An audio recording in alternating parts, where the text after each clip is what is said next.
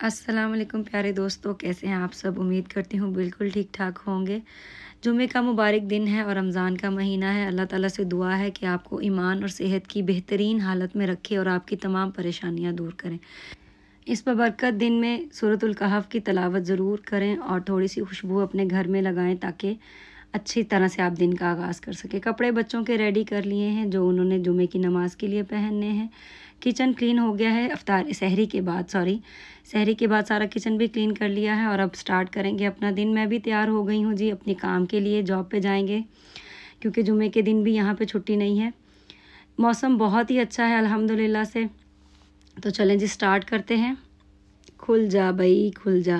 Sorry ये नहीं खुल रही थी। ओके जी तो ड्राइव टू द वर्क बहुत अच्छा मौसम है। अल्लाह ताला ऐसे ही रमज़ान का पूरा महीना ऐसे ही खूबसूरत और अच्छा अच्छा मौसम रखे। चले जी, मेन रोड आने से पहले वीडियो बंद करती हूँ। काम पे पहुँच गई हूँ। यहाँ काम करेंगे हम बच्चों के साथ because I am school teacher तो ठीक है जी। बाय बाय यहाँ से काम पे चले भी गए, काम से वापस भी आ गए और आकर मैं बना रही हूँ जी सैंडविचेस चिकन सैंडविचेस हम तैयार करेंगे इफ़ार के लिए। बहुत ही मज़े के बनते हैं, बहुत ही ईजी बनते हैं। बनाने नहीं थे ये चिकन सैंडविच, लेकिन क्यों बने हैं ये आप वीडियो में देखेंगे। इसके लिए मैंने लिया है तीन हंड्रेड तीन सौ ग्राम चिकन तीन हंड्रेड। तीन सौ ग्राम मैंने चिकन लिया है, उसमें नमक, काली मिर्च, गार्लिक पाउडर, और मैंने डाला है two tablespoon soya sauce ये आपको जो रेसिपी लिंक आ रहा है, ये मैंने अपनी कोलीग्स के लिए डाला है। उन सबने मेरा चैनल सब्सक्राइब किया, अल्हम्दुलिल्लाह से, और वो मुझे सपोर्ट कर रही हैं, इसलिए मैंने उनके लिए इंग्लिश सब डाले हैं, ठीक है? चिली फ्लेक्स मैंने डाले हैं लेमन जूस मैंने ऐड किया है, इन सबको हम मिक्स करेंगे अच्छी तरह से और आधे घंटे के लिए रख देंगे मैक्सिमम ताकि चिकन थोड़ा सॉफ्ट और सॉफ्ट हो जाए।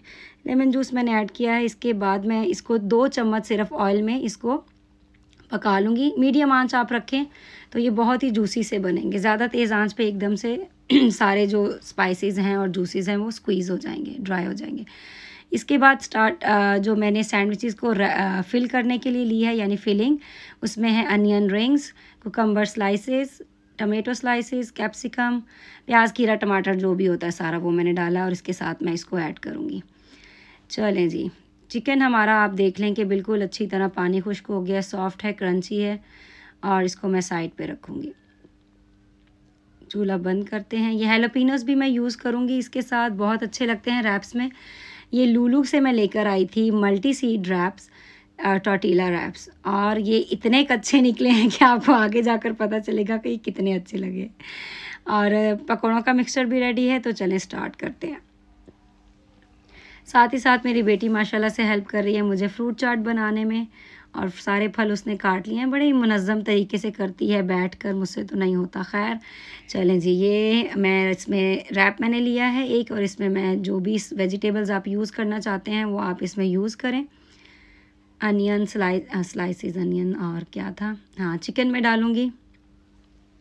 अब ये देखिए यहाँ पे क्या ब्लेंडर होने वाला है। कौन सी मैंने सॉस ऐड की है वो भी मैं आपको बता देती हूँ। ये एक किस्म की रैन सॉस है, बड़ा ही मुश्किल सा कोई नाम है इसका, मुझे नहीं आ रहा था तो वो आप रैन सॉस डाल लें सीज़र डाल लें, जो भी आपके पास अवेलेबल है। माइनिस डाल लें माइनिस भी बहुत अच्छी लगती है, और ये मैं केचप इसमें ऐड कर रही हूँ। अब इसको मैं फ़ोल्ड करूँगी और सैंडविच मेकर में या पैन के ऊपर इसको हल्का सा गर्म कर लूँगी, ये देखें। हेलोपिनस रह गए थे सॉरी वो हेलोपिनस भी मैंने डाल दिए। ओ वन टू थ्री और हो गया जी बड़ा गर्क। बहुत ही गंदे निकले हैं ये लूलू वाला खुदा का वास्ता है पैसे लेते हो चीज़ें सही बनाओ। तो खैर इसको मैंने डबल रैप इस तरह से कर दिया और ये एक ही मैंने बनाया। उसके बाद लकीली मेरे पास ये ब्राउन ब्रेड पड़ी थी वो मैं यूज़ करूँगी सैंडविचेस बनाने में। सारे सैंडविचेस में मैंने इसी तरह ये लगा लिए और इसको मैं ग्रिल में में या जो पैन है उसमें टोस्ट कर लूँगी।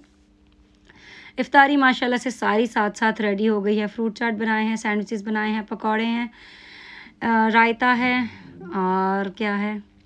हाँ और क्या था? ये भी मैं लूलू से लेकर आई थी चिकन पफ्स ये अच्छे थे, बस सही थे चिकन बराए नाम था, लेकिन अच्छे थे ये भी।